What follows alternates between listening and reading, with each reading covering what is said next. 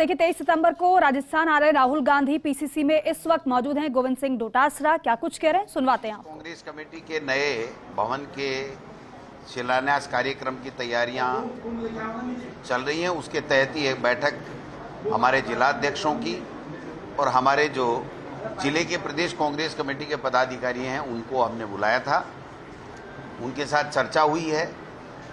हम इस कार्यक्रम में वो हमारे कांग्रेस पार्टी के तमाम पदाधिकारी, जो बूथ अध्यक्ष हों, मंडल अध्यक्ष हों, मंडल के बाद में ब्लॉक अध्यक्ष, ब्लॉक की कार्यकारिणी, ज़िले की कार्यकारिणी, प्रदेश की कार्यकारिणी, ग्राम पंचायत के अध्यक्ष, वो तमाम लोग इस कार्यक्रम का हिस्सा होंगे। कहने का मतलब कांग्रेस पार्टी के संगठन का जो स्ट्रक्चर हमने इतने दिन से मेहनत करके बनाया है बूथ अध्यक्ष से लेकर के ऊपर तक का, वो तमाम लोग इस कार्यक्रम में प्रमुख रूप से भाग लेंगे। और उनको कार्ड हम लोग वितरित कर रहे हैं, कार्ड जारी कर रहे हैं। और वो सब लोगों की उपस्थिति में हम चाहते हैं राहुल गांधी जी और खड़गे साहब दोनों पधार करके इस नवन नवीन जो भवन है, जिसका हमने नक्शा तैयार किया है, चार मंजिला उस भवन का शिलान्यास कार्यक्रम हम लोग तेईस तारीख का हमने तय किया है। आज शाम तक उम्मीद करते हैं कि राहुल गांधी जी की स्वीकृति हमें मिल जाएगी। खड़गे साहब से बात हो गई है। तो मोस्टली तेईस तारीख को हम यह कार्यक्रम करना चाह रहे हैं। उसकी तैयारी के लिए हमने बैठक की। ईआरसीपी हमारा हक है, हम लेके रहेंगे, राष्ट्रीय परियोजना घोषित करा के रहेंगे। अगर ये नहीं करते हैं तो हम बना के रहेंगे। पूरी सरकार की तरफ़ से बजट भी हमने दिया है और देंगे। और इसके लिए हम लोग 25 तारीख से एक यात्रा निकाल रहे हैं, जो इन तेरह जिलों में जाएगी। और तेरह जिलों के लोग, तमाम लोग उपस्थित रह कर के जहाँ जहाँ जैसे जैसे स्थान निर्धारित किया जाएगा, वहाँ पर हम लोग उनको संबोधित करते हुए जागरूकता फैलाएँगे और ये हम पूरी तरीके से भारतीय जनता पार्टी को एक्सपोज करेंगे कि इन्होंने जानबूझ करके चूँकि वसुंधरा जी और गजेंद्र सिंह जी के और वसुंधरा जी और मोदी जी के अनबन है, इसलिए वसुंधरा जी के समय में बनाई हुई डीपीआर को वो आगे नहीं बढ़ाना चाहते हैं, एक कारण और दूसरा कारण है कि हम बार बार कांग्रेस पार्टी मांग कर रही है, इसलिए वो इसका श्रेय कांग्रेस को नहीं देना चाहते। गजेंद्र सिंह जी ने एक जगह मीडिया में ये बोल भी दिया कि आप तो हमारा राज बना दो, फिर हम ईआरसीपी के लिए पैंतालीस हज़ार करोड़ रुपए दे देंगे।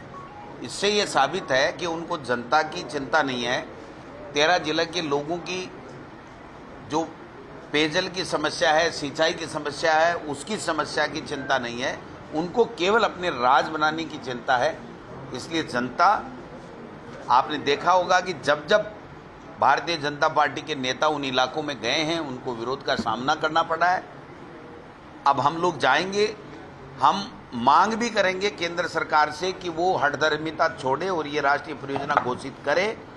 और इसके साथ साथ हम वादा भी करेंगे कि हमने पैसा दिया है अगर भारत सरकार नहीं बनाएगी तो हम राजस्थान की सरकार इस ईआरसीपी को पूरी करेगी उसकी डीपीआर कार्यक्रम करेंगे कहाँ कहाँ जाएँगे और खाता कैसे तैयार किया पूरा आपने किसका? पदयात्रा का हम रूट चार्ट प्रेस कॉन्फ्रेंस करके बता देंगे। पहले हम तेईस तारीख की तैयारी में लगे हुए हैं और प्रेस कॉन्फ्रेंस करके आपको बाकायदा पूरा रूट चार्ट बताएँगे तेरह जिलों में किस तरीके से हम लोग कहाँ कहाँ सभाएँ करेंगे क्या करेंगे वो रूट चार्ट बन रहा है। एक सौ एक टका धोखा तो हर मुद्दे पे दिया। ईआरसीपी पे भी दिया महँगाई कम करने की बात की थी उस पर भी दिया बेरोजगारों को दो करोड़ को एक साल में नौकरी देने की बात की थी उस पर भी दिया। पेट्रोल, डीजल के ऊपर एक्स्ट्रा सेस लगा करके लूट मचा रखिए, उस पर भी दिया। किसानों की कर्जा माफ़ी के मुद्दे के ऊपर भी उन्होंने धोखा दिया और किस प्रकार से पंद्रह महीने तक खून के आँसू उनको रुलाए गए, उस पर भी उन्होंने जो प्रताड़नाएँ दी हैं, जो तीन काले कानून उद्योगपति मित्रों को फ़ायदा देने के लिए, उस पर भी हमको धोखा दिया। हमने, हमारी सरकार ने, मुख्यमंत्री ने ये लिख के दे रखा है कि जो राष्ट्रीयकृत बैंक हैं, उनका वन टाइम सेटलमेंट करा दीजिए। हम पूरा पैसा राज्य सरकार देने को तैयार है। उस पर भी उन्होंने काम नहीं करके और उस पर भी धोखा दिया है। और अब कभी घेराव यात्रा, कभी जन आक्रोश यात्रा, कभी परिवर्तन यात्रा तो देखिए, जन आक्रोश में जन नहीं था, आपस में आक्रोश था, घेराव में कोई इनके साथ हो नहीं रहा था। एक दूसरे का खुद ही घेराव कर रहे थे। और अभी जो परिवर्तन है, वो तो एक तरीके से उनका परिवर्तन यात्रा मज़ाक बन के रह गई है, क्योंकि परिवर्तन अपने नेतृत्व का कर रहे हैं। जनता उनके साथ में नहीं है। जनता कांग्रेस पार्टी की सरकार, मुख्यमंत्री जी की योजनाएँ, उसके ऊपर मोहर लगा करके सरकार को रिपीट करना चाहती है और मन बना चुकी है पूरी तरीके से। ये पूरे के पूरे केंद्र के मंत्री और पूरे नेता देश के लोगों के, अपने विभागों के काम नहीं करके और केवल चुनावी मोड में घूमते रहते हैं।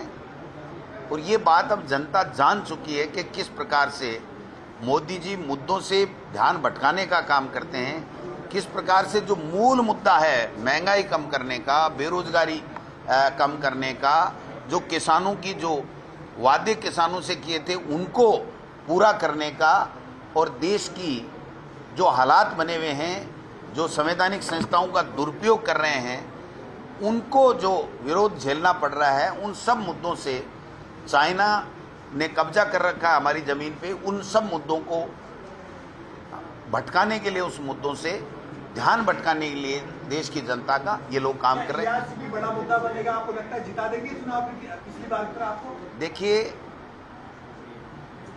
जो प्रदेश की जनता ने मन बना लिया कि कांग्रेस की सरकार ने बहुत अच्छा काम किया, आखिरी का बजट भी 80 प्रतिशत से ज़्यादा धरातल पे उतरा है और केंद्र की मोदी सरकार में नौ साल में एक भी वादा पूरा नहीं किया, जिसमें ये ईआरसीबी भी उनका देश के प्रधानमंत्री का बोला हुआ वादा था। भारतीय जनता पार्टी की वसुंधरा राजे जी की सरकार का बनाई हुई डीपीआर थी, उसके बावजूद भी वो पूरा नहीं कर रहे हैं। तो मैं समझता हूँ ये सारे मुद्दे और हमारी गुड गवर्नेंस और हमारी योजनाएँ ये सब मिलाकर के राजस्थान में कांग्रेस की सरकार को रिपीट आज राहुल गांधी की यात्रा में क्या केवल आप लोग अपने पदाधिकारियों को बुला रहे हैं देखिए, बिल्कुल हम आ, उन लोगों को ये एक यूनिक कार्यक्रम होगा आप देखना आप साक्षी बनेंगे।